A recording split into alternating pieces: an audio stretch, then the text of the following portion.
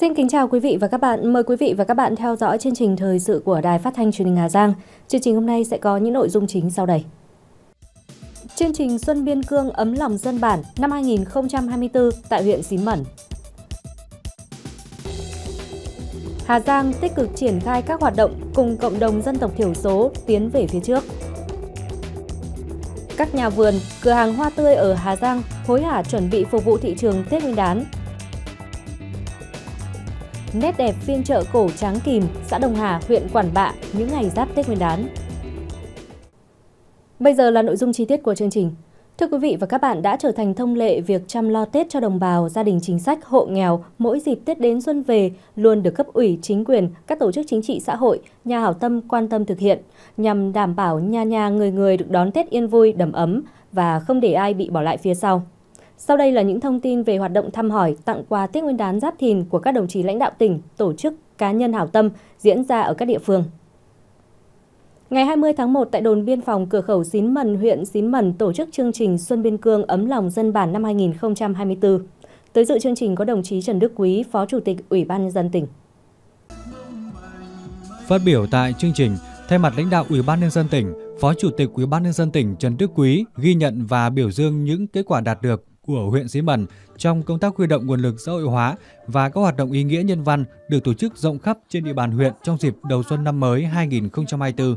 Đồng thời nhấn mạnh, Xuân Biên Cương ấm lòng dân bản là chương trình hết sức ý nghĩa thiết thực, thể hiện sự gắn kết tình quân dân, chung sức chung lòng giữ vững biên cương tổ quốc, góp phần đảm bảo an sinh xã hội và thúc đẩy sự phát triển bền vững của địa phương. Phó Chủ tịch Ủy ban nhân dân tỉnh gửi lời cảm ơn chân thành đến các nhà tài trợ, doanh nghiệp, đơn vị thiện nguyện đã dành tình cảm cho Hà Giang nói chung và nhân dân huyện Xí Mần nói riêng. Tại chương trình Xuân Biên Cương ấm lòng dân bản huyện Xí Mần năm 2024, Phó Chủ tịch Ủy ban nhân dân tỉnh Trần Đức Quý đã dành tặng 40 xuất quà cho học sinh xã Xí Mần.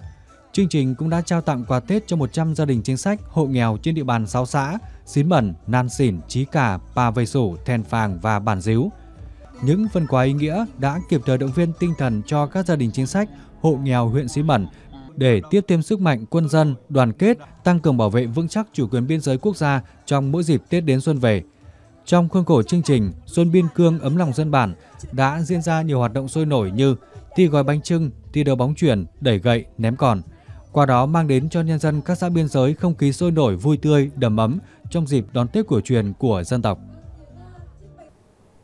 Cũng tại huyện Xín Mần, chiều ngày 20 tháng 1, Phó Giáo sư Tiến sĩ Vũ Trọng Lâm, Giám đốc Tổng biên tập Nhà xuất bản Chính trị Quốc gia Sự thật và đồng chí Vương Ngọc Hà, trưởng ban tuyên giáo tỉnh ủy, đã đến thăm tặng quà Tết cho cán bộ chiến sĩ đồn biên phòng cửa khẩu Xín Mần, các gia đình chính sách, đồng bào dân tộc thiểu số của huyện Xín Mần.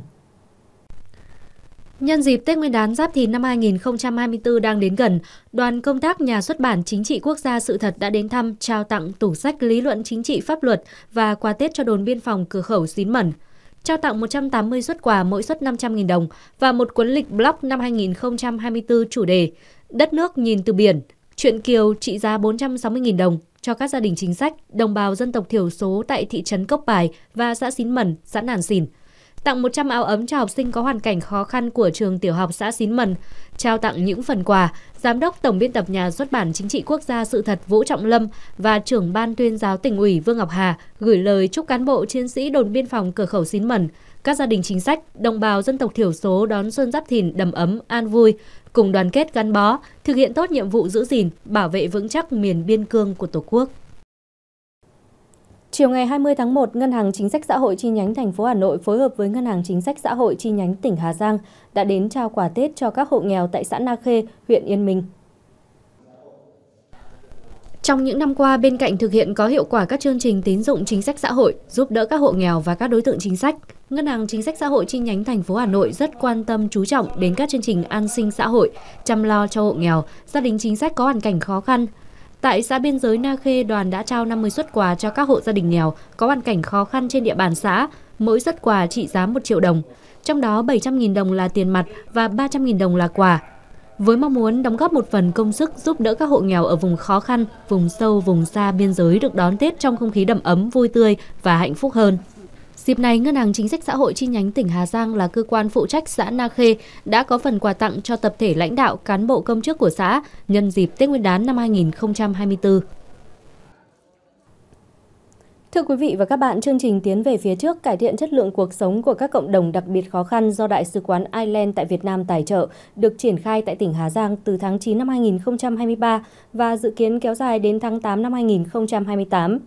Trên cơ sở lấy cộng đồng dân tộc thiểu số làm trung tâm, tổ chức Plan Quốc tế Việt Nam, tổ chức khe Quốc tế tại Việt Nam Trung tâm Nghiên cứu Sáng kiến Phát triển Cộng đồng sẽ tập trung các hoạt động nâng cao năng lực, quyền năng kinh tế, ứng phó với biến đổi khí hậu, đặc biệt với phụ nữ, trẻ em, người khuyết tật để phát triển cộng đồng và cải thiện chất lượng cuộc sống.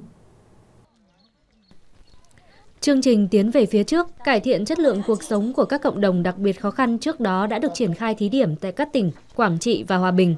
Chương trình được đánh giá rất khả quan khi đã có những tác động hỗ trợ thiết thực cho sự phát triển bền vững của cộng đồng dân tộc thiểu số, Giai đoạn 2 của chương trình được khởi động từ ngày 28 tháng 11 năm 2023 và mở rộng tại 5 xã của tỉnh Hà Giang là Cao Bồ, Quảng Ngân, Thuận Hòa, huyện Vị Xuyên và xã Nấm Dần, Nàn Ma, huyện Xín Mần. Thông qua chương trình này thì các cộng đồng dân tộc thiểu số, đặc biệt là trẻ em gái, người khuyết tật và phụ nữ tại các xã đặc biệt khó khăn của tỉnh sẽ được nâng cao năng lực để ứng phó và thích ứng biến đổi khí hậu, làm chủ cái cuộc sống vươn lên và cũng sẽ tự chủ hơn cuộc sống và nâng cao vị thế của gia đình, cộng đồng và trong xã hội. Đây là một trong những chương trình quan trọng nhất mà Ireland triển khai tại Việt Nam và khu vực Đông Nam Á. Các nội dung được xây dựng dựa trên bề dày các hoạt động hỗ trợ cộng đồng dân tộc thiểu số và các nhóm dễ bị tổn thương của Ireland tại Việt Nam. Cộng đồng dân tộc thiểu số được trao vai trò trung tâm, người dân là chủ thể. Họ sẽ được tập huấn, hướng dẫn để đề xuất các sáng kiến, lập kế hoạch và tổ chức thực hiện quản lý, xây dựng và duy tu bảo dưỡng các công trình cơ sở hạ tầng quy mô nhỏ – nâng cao quyền năng kinh tế của phụ nữ, quản lý rủi ro thiên tai dựa vào cộng đồng, khả năng tiếp cận các dịch vụ cơ bản và sinh kế nhằm giảm tình trạng dễ bị tổn thương của cộng đồng dân tộc thiểu số vùng đặc biệt khó khăn. Plan có cái cách tiếp cận đấy là ngoài cái đào tạo tập huấn ra thì hỗ trợ để thực hành và như vậy thì đấy là một cái cách mà khá là hiệu quả để giúp cho bà con thay đổi ngoài cái kiến thức ra thì thay đổi cái thực hành à, và từ đó thì sẽ giúp cho bà con chủ động và dự án sau này nó mới đảm bảo tính bền vững và sẽ giúp cho bà con có tăng cái thu nhập, đặc biệt là khi mà áp dụng các cái khoa học kỹ thuật mới vào thực tế. Thì huyện Vị Xuyên hiện nay đang triển khai à, tiến về phía trước đối với lại à, một số xã, ừ, thị trấn. Thì đặc biệt là hiện nay chúng tôi đang muốn kêu gọi về à, xã Cao Bồ, à, xã Quảng Ngân và xã Thuận Hòa để đưa ba cái xã khó khăn này lên để à, hỗ trợ bà con nhân dân vùng đồng bào dân tộc thiểu số ờ, thoát khỏi đói nghèo Hiện nay, tình trạng cơ sở tầng cộng đồng tại các địa bàn của tỉnh vẫn còn nhiều thiếu hụt và nguồn lực để xây dựng duy tu còn hạn chế. Sau đó, việc tiếp cận các hoạt động của chương trình tiến về phía trước, cải thiện chất lượng cuộc sống của các cộng đồng đặc biệt khó khăn vô cùng có ý nghĩa. Điều quan trọng hướng đến là thay đổi tư duy, điều kiện sống của đồng bào, đảm bảo quyền bình đẳng giới và góp phần xây dựng môi trường an toàn trước thiên tai, biến đổi khí hậu, cùng cộng đồng dân tộc thiểu số vươn lên, phát triển bền vững.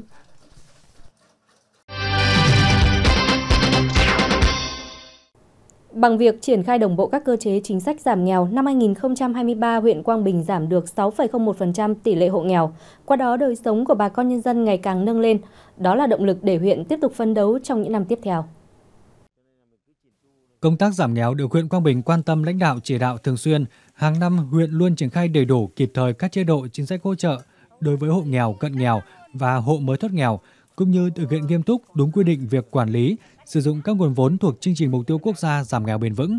Năm 2023, toàn huyện giảm 880 hộ nghèo, tương ứng với tỷ lệ 6,01%, giảm 489 hộ cận nghèo, tương ứng với 3,35%. Hiện tỷ lệ hộ nghèo huyện Quang Bình là 9,07%, hộ cận nghèo là 7,96%. Từ kết quả đạt được, năm 2024, huyện Quang Bình tiếp tục triển khai nhiều giải pháp giảm nghèo bền vững, trong đó chỉ đạo các phòng ban đơn vị tổ chức thực hiện tốt việc giả soát hộ nghèo, cận nghèo, đánh giá thực trạng nghèo và phân loại đối tượng, chú trọng triển khai công tác giảm nghèo đồng bộ từ cấp huyện đến cơ sở với nội dung hình thức phù hợp, gắn thực hiện chương trình giảm nghèo với xây dựng nông thôn mới, hỗ trợ người dân tiếp cận một cách tốt nhất các dịch vụ xã hội cơ bản, vận động người nghèo, cận nghèo tích cực tham gia các tổ nhóm sản xuất, hợp tác xã để gắn kết cộng đồng, thuận lợi trong phát triển kinh tế. Thưa quý vị và các bạn, những năm qua công tác đào tạo nghề giải quyết việc làm luôn được huyện Xín Mần quan tâm, tập trung triển khai và coi đây là một trong những giải pháp quan trọng để giảm nghèo bền vững. Riêng trong năm 2023 đã giải quyết việc làm mới được cho 2.278 lao động đi làm việc trong nước và xuất khẩu lao động tại các thị trường Hàn Quốc, Đài Loan và Nhật Bản. Năm 2023, huyện Xín Mần đã tổ chức thành công hội trợ việc làm với 21 đơn vị doanh nghiệp tham gia và gần 2.000 người lao động dự và tìm hiểu thông tin thị trường lao động, phối hợp tuyên truyền tư vấn cho người lao động tham gia đi học tập, làm việc ngoài tỉnh, xuất khẩu lao động được 30 hội nghị tại 17 xã thị trấn cho trên 1.800 lượt người lao động. Nhờ đó đã giải quyết việc làm mới cho 2.278 lao động. Huyện đã tích cực kết nối với các đơn vị Ờ, ngoài huyện và đặc biệt là ờ, các đơn vị đã được huyện ký kết ừ, quy chế phối hợp như trường cao đẳng than khoáng sản Việt Nam, trường cơ điện Hà Nội và trường hữu nghị ờ, cao đẳng hữu nghị Việt Xô để kết nối đưa lao động đi làm việc gắn với giải quyết việc làm thì đến nay cái số lao động đi làm việc tại trường than Quảng Ninh cũng đã tăng cao và cái thu nhập rất là ổn định. Cùng với đó, huyện Xín Mần cũng đã tích cực kết nối, phối hợp thực hiện tuyển dụng lao động học nghề gắn với giải quyết việc làm sau khi kết thúc khóa đào tạo. Các cơ quan ban ngành huyện, các xã thị trấn cũng đã tích cực triển khai thực hiện và được người lao động tích cực hưởng ứng tham gia. Cùng với hỗ trợ từ các nguồn lực thuộc ba chương trình mục tiêu quốc gia đã thúc đẩy phát triển giáo dục nghề nghiệp, tạo việc làm bền vững cho lao động nông thôn.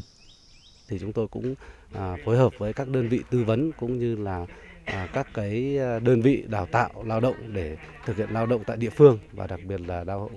đào tạo những cái lao động ngắn hạn. Năm 2024 này, mục tiêu được huyện đặt ra là giải quyết việc làm cho người đi lao động ngoài tỉnh, xuất khẩu lao động từ 2.000 người trở lên, cùng hơn 1.000 lao động được đào tạo nghề. Phần đấu đến hết năm 2024, tỷ lệ lao động có đào tạo trên địa bàn huyện đạt 61%. Huyện tiếp tục lãnh đạo và chỉ đạo công tác đào tạo nghề và giải quyết việc làm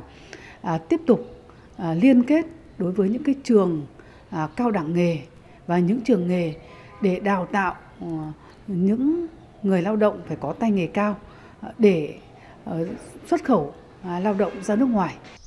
Tỷ lệ hộ nghèo của huyện Xín Mần còn chiếm tới 50,75%, hộ cận nghèo chiếm 14,06% và có trên 42.200 người trong độ tuổi lao động. Để thực hiện tốt hơn công tác giảm nghèo, giảm tỷ lệ hộ nghèo cận nghèo trong thời gian tới thì việc huyện Xí Mần quan tâm công tác đào tạo nghề, đưa người lao động đi làm việc ngoại tỉnh và xuất khẩu lao động là hướng đi hiệu quả, ổn định và bền vững. Thưa quý vị và các bạn, chương trình thời sự xin được tiếp tục trở lại với các thông tin về thị trường trong thời điểm giáp Tết. Những ngày này, các nhà vườn và các cửa hàng hoa tươi ở Hà Giang đã hối hả chuẩn bị để phục vụ thị trường Tết Nguyên đán Giáp Thìn 2024. Theo nhận định của các nhà vườn, nhu cầu tiêu thụ của thị trường năm nay khá ổn định nên việc cung ứng hoa cây cảnh đã được chuẩn bị rất kỹ càng. Thời điểm này, cùng với các nhà vườn khác trên địa bàn tỉnh, nhà vườn Tam Vũ, ổ 2 phường Ngọc Hà, thành phố Hà Giang đã nhập hàng trăm loại hoa cây cảnh để phục vụ thị trường dịp Tết. Theo quan sát, năm nay, nhà vườn nhập nhiều loại hoa có màu sắc sặc sỡ, giá thành vừa phải, hình thức đẹp.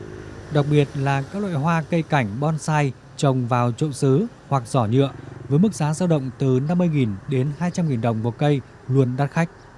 À, hiện nay nhà vườn đang chuẩn bị rất là nhiều loại cây ạ, như kiểu là trạng nguyên, đỗ quyên, rồi à, lan ạ, quất. Đối với nhà vườn là cũng đã cung cấp đủ các loại hoa và giá cả hợp lý cho mọi người ạ. Cũng đã nhập cho mình một số lượng lớn hoa lan các loại để phục vụ cho dịp Tết. Thời điểm này, cửa hàng hoa Bình Thảo, phường Nguyễn Trãi, thành phố Hà Giang đang tất bật lên dáng cho các chậu lan ngày Tết. Năm nay, lan hồ điệp vẫn là giống hoa lan được người tiêu dùng ưa chuộng bởi giá thành vừa phải và tươi được rất lâu. Nắm bắt được nhu cầu của khách, cửa hàng đã lên những chậu hoa từ cỡ nhỏ đến cỡ lớn với giá từ vài trăm nghìn đến trên 10 triệu đồng. Mình cũng đã cắm ờ, rất là nhiều các bình hoa à, tùy thuộc vào cái nhu cầu của khách hàng và túi tiền của khách hàng để phục vụ cho tất cả các ờ, người dân với những người chơi hoa để có một cái Tết thật là ấm cúng trong gia đình. Theo chia sẻ của nhiều chủ vườn, cửa hàng hoa năm nay giá bán các hoa, cây cảnh cơ bản ổn định, không có sự chênh lệch nhiều so với năm trước. Thời điểm này, sức mua của người dân bắt đầu tăng. Các loại hoa có độ bền lâu như hoa lan, hoa giấy, mộc, trà, đỗ quyên, trạng nguyên được mua sớm hơn so với các loại hoa ngắn ngày. Thưa quý vị và các bạn, dịp Tết Nguyên đán hàng năm, các mặt hàng rau, hoa luôn có giá bán ổn định. Nắm bắt nhu cầu của thị trường, nhiều năm nay nông dân xã Đạo Đức huyện Vị Xuyên đã chuyển đổi từ trồng lúa sang trồng hoa, hoặc tận dụng đất trống quanh vườn nhà để trồng hoa nhằm tăng thêm thu nhập. Xác định vụ Tết là vụ quan trọng đem lại thu nhập cao nên hầu hết các hộ dân xã Đạo Đức huyện Vị Xuyên đều đang rất tích cực chăm sóc và cắt tỉa các loại hoa, đồng thời tận dụng diện tích đất để xuống giống, xen kẽ giữa cây ngắn ngày và dài ngày để có sản phẩm bán thường xuyên và kéo dài đến cận Tết. Năm nay tôi cũng trồng à, trồng à, được 10 cân lê ơ. Tôi cũng mong thời tiết cho nó thuận lợi đến Tết thì cũng có cái thu nhập. Năm nay, xã Đạo Đức có 6,8 ha diện tích đất trồng hoa với gần 30 hộ trồng tại các thôn Độc Lập, Tân Đức, Làng Nùng. Cùng với hoa đào thì những ruộng hoa cúc, lai ơn, huệ đủ màu sắc cũng đang được người dân chăm sóc chu đáo. Đây là những loại hoa có thời gian nở kéo dài, tươi lâu, được người tiêu dùng ưa chuộng. Tuy dễ trồng, nhưng để hoa nở đúng dịp Tết có giá tốt, đáp ứng nhu cầu thị trường buộc người dân cần phải chăm sóc tỉ mỉ theo từng giai đoạn phát triển của hoa. Cây hoa cũng đã mang lại hiệu quả kinh tế rất là cao. Và tại thời điểm hiện nay thì bà con cũng đang tích cực à, chăm sóc tốt nhất cho cây hoa đảm bảo đỡ, nở đúng cái dịp mà Tết Nguyên đán sắp tới. Và à, các à, ban ngành đoàn thể xã cũng rất là tích cực tuyên truyền vận động bà con nhân dân À, tăng cái à, diện tích trồng cũng như là áp dụng khoa học kỹ thuật để cây hoa cho cái năng suất sản lượng cao nhất.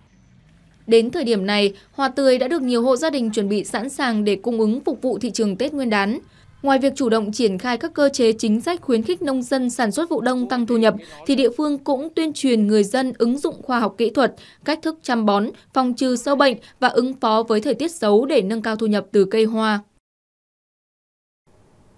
Chợ phiên Tráng Kìm là chợ cổ đã có rất lâu đời ở xã Đông Hà, huyện Quản Bạ. Họp mỗi tuần một lần, ngoài mua bán, trao đổi hàng hóa, phiên chợ cổ này còn là nơi gặp gỡ, giao lưu văn hóa truyền thống của các dân tộc, trở thành nét văn hóa gắn liền với đời sống của bà con trong vùng.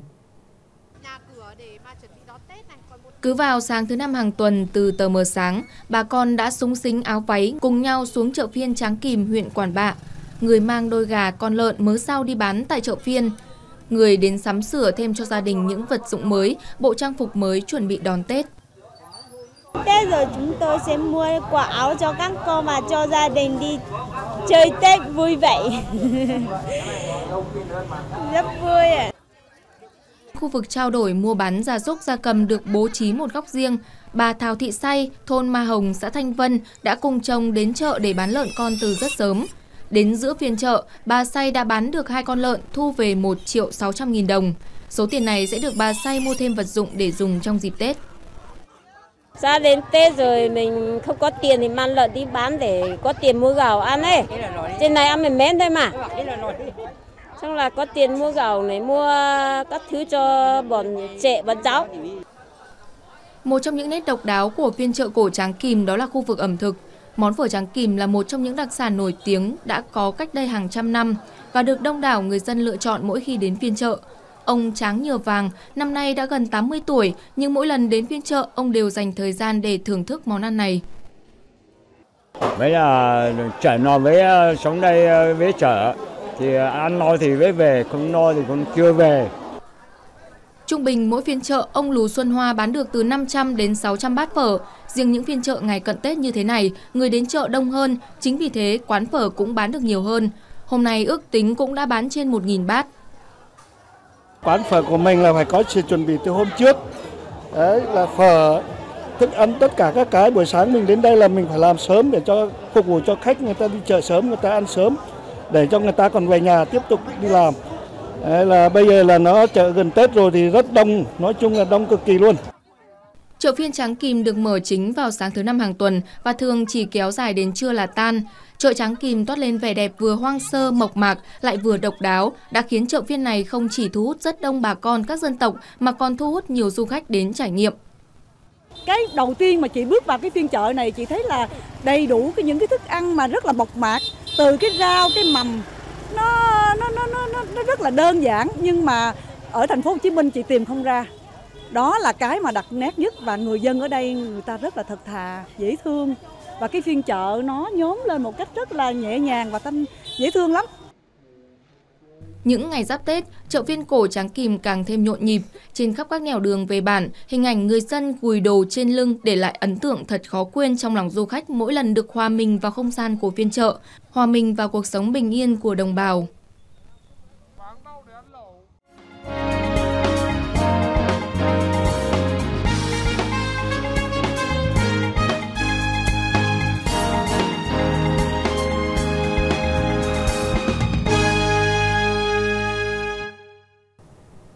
Phần cuối của chương trình thời sự hôm nay mời quý vị và các bạn cùng gặp lại biên tập viên Trần Trang để cùng điểm lại những sự kiện nổi bật diễn ra trong tuần từ ngày 15 đến ngày 21 tháng 1 năm 2024. Xin mời biên tập viên Trần Trang. Vâng, xin được cảm ơn chị Quỳnh Nga. Xin kính chào quý vị khán giả đang theo dõi mục điểm thời sự của Đài Phát thanh Truyền hình Hà Giang.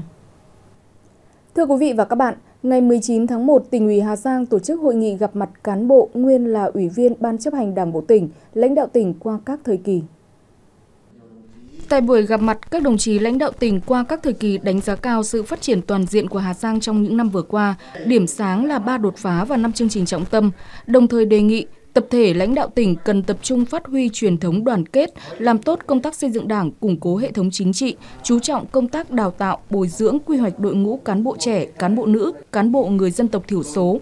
nghiêm túc tiếp thu ghi nhận những ý kiến đóng góp của các đồng chí nguyên là lãnh đạo tỉnh Hà Giang qua các thời kỳ. Quyền Bí thư tỉnh ủy Nguyễn Mạnh Dũng khẳng định, thời gian tới, Hà Giang sẽ làm tốt công tác chuẩn bị cho Đại hội Đảng bộ các cấp nhiệm kỳ 2025-2030, tiếp tục coi trọng công tác giáo dục đào tạo, xây dựng đội ngũ cán bộ có trình độ, năng lực cao hơn, đặc biệt tiếp tục xây dựng củng cố quốc phòng an ninh vững mạnh toàn diện, bảo vệ vững chắc chủ quyền biên giới quốc gia, giữ vững an ninh chính trị, trật tự an toàn xã hội. Ngày 15 tháng 1, tỉnh ủy Hà Giang phối hợp với Học viện Chính trị khu vực 1 tổ chức khai mạc lớp bồi dưỡng cán bộ quy hoạch Ban chấp hành Đảng bộ tỉnh Hà Giang nhiệm kỳ 2025-2030. Trong thời gian 15 ngày, 67 học viên là cán bộ chủ chốt được quy hoạch vào Ban chấp hành Đảng bộ tỉnh nhiệm kỳ 2025-2030 được tiếp thu 22 chuyên đề học tập nhằm cung cấp bổ sung cập nhật những kiến thức mới về lý luận chính trị và một số kỹ năng kinh nghiệm thực tiễn đảm bảo đầy đủ toàn diện trong công tác lãnh đạo quản lý cho cán bộ quy hoạch ban chấp hành Đảng bộ tỉnh, đáp ứng yêu cầu nhiệm vụ của địa phương trong tình hình mới. Phát biểu chỉ đạo lớp bồi dưỡng, quyền bí thư tỉnh ủy Nguyễn Mạnh Dũng nhấn mạnh, việc tổ chức lớp bồi dưỡng vừa bổ sung kiến thức vừa giải đáp những vấn đề thực tiễn mới đặt ra, tạo sự đồng thuận trong nhận thức và hành động của cán bộ, góp phần nâng cao nhận thức, năng lực, trình độ nghiệp vụ, phẩm chất chính trị, đạo đức lối sống của đội ngũ cán bộ lãnh đạo quản lý các cấp. Ngày 17 tháng 1, tỉnh ủy Hà Giang tổ chức hội nghị tổng kết hoạt động các đoàn công tác 998 của Ban Thường vụ tỉnh ủy, theo dõi chỉ đạo Đảng bộ các huyện, thành phố năm 2023, phương hướng nhiệm vụ trọng tâm năm 2024. Trong năm, các đoàn công tác đã tổ chức làm việc với cấp ủy chính quyền cấp huyện được 189 lượt, làm việc với cấp ủy chính quyền cấp xã được 747 lượt, duy trì thực hiện hiệu quả 1.567 mô hình dân vận khéo, các huyện ủy, thành ủy đã thực hiện hơn 5.300 cuộc kiểm tra giám sát với 1.119 tổ chức đảng và 5.200 đảng viên. Tại hội nghị, các đại biểu đã tập trung làm rõ những kết quả đạt được, chỉ ra nguyên nhân, những hạn chế để có giải pháp, biện pháp khắc phục. Phó Bí thư Thường trực Tỉnh ủy, Chủ tịch Hội đồng nhân dân tỉnh Thảo Hồng Sơn đề nghị các đoàn công tác 998 tập trung chỉ đạo các huyện ủy, thành ủy quán triệt xây dựng kế hoạch, chuẩn bị tốt các nội dung để tổ chức Đại hội Đảng bộ các cấp nhiệm kỳ 2025-2030, nâng cao việc kiểm tra, giám sát, kiên quyết phòng chống tiêu cực, tham nhũng, xử lý nghiêm trường hợp vi phạm. Kết luận tại hội nghị tổng kết hoạt động Ban chỉ đạo 12 của tỉnh ủy về nghiên cứu xây dựng và triển khai đề án đẩy mạnh xây dựng công an tỉnh Hà Giang thật sự trong sạch, vững mạnh, chính quy, tinh nhuệ, hiện đại, đáp ứng yêu cầu nhiệm vụ trong tình hình mới diễn ra vào ngày 16 tháng 1, đồng chí Nguyễn Văn Sơn, Phó Bí thư tỉnh ủy, Chủ tịch Ủy ban dân tỉnh, trưởng ban chỉ đạo yêu cầu. Các thành viên ban chỉ đạo xây dựng kế hoạch lộ trình thực hiện nhiệm vụ được giao, tổ chức giả soát hệ thống hóa tài liệu về chuyên đề nghị quyết số 12 để quản lý, nghiên cứu và triển khai thực hiện đảm bảo lộ trình tiến độ, đề nghị Ủy ban Mặt trận Tổ quốc tỉnh tiếp tục đẩy mạnh công tác tuyên truyền vận động thực hiện các chủ trương của Trung ương của tỉnh ủy về xây dựng công an tỉnh Hà Giang thật sự trong sạch, vững mạnh, chính quy, tinh nhuệ, hiện đại. Ban tổ chức tỉnh ủy phối hợp với Đảng ủy Công an tỉnh, các huyện, thành ủy hướng dẫn chỉ đạo các giải pháp xây dựng, củng cố tổ chức đảng trong lực lượng công an địa phương. Chủ tịch Ủy ban nhân dân tỉnh Nguyễn Văn Sơn giao cho các sở ngành căn cứ nhiệm vụ tham mưu cho tỉnh giải pháp thực hiện hiệu quả, nghiên cứu hỗ trợ kinh phí để đảm bảo an ninh trật tự trên địa bàn. Phòng Cảnh sát điều tra tội phạm về ma túy Công an tỉnh Hà Giang vừa phối hợp với Công an tỉnh Lào Cai và các đơn vị nghiệp vụ triệt phá đường dây vận chuyển mua bán trái phép chất ma túy liên tỉnh với số lượng lớn. Vụ việc được phát hiện tại khu vực thôn Cầu Thủy, thị trấn Việt Quang, huyện Bắc Quang. Lực lượng công an đã bắt quả tang đối tượng có hộ khẩu thường trú tại tỉnh Lào Cai đang vận chuyển trái phép ma túy đi tiêu thụ.